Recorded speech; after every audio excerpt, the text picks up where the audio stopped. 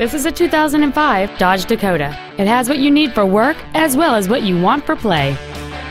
Among the many superb features on this Dodge there are a heated driver's seat, power windows, a multi-disc CD player, three-point rear seat belts, fog lamps, and this vehicle has just over 31,000 miles.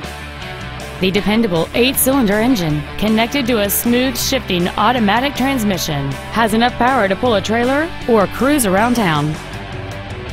Stop by today and test drive this truck for yourself.